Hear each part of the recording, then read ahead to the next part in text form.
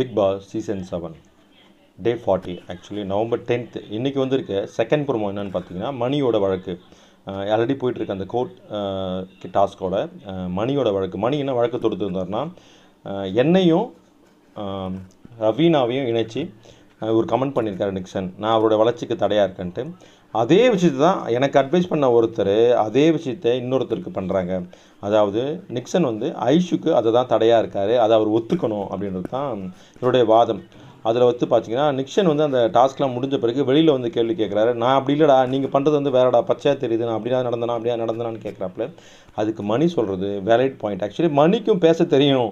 At least இந்த விஷயத்துலையாவது பேசுனீங்கன்னா மணி உங்களுக்கு நாங்கள் நாற்பது நாள் கொடுத்த சம்பளத்துக்கு இந்த ஒரு வேலையாவது உருப்படியாக செஞ்சீங்க. செம்மையாக கேட்டாப்புல. நான் வந்து அவள் என்கிட்ட ஐஷு வந்து சொன்னதெல்லாம் வெளியில் சொன்னால் கேம் க்ளோஸ்டு உனக்கு யாரும் எதுவும் சொல்லவே முடியாது. நான் அதை மட்டும் சொன்னேன் ஓப்பன் பண்ணேன் காலிடா அப்படின்ற மாதிரி சொல்லி எச்சரிக்கை விட்டுருக்காரு. இதுக்கப்புறமாவது நிக்சன் ஜோ இவர் கரெக்ட் பண்ணிக்கிட்டு ஐஷு இருந்து விலகி இருந்தாருன்னா நல்லது.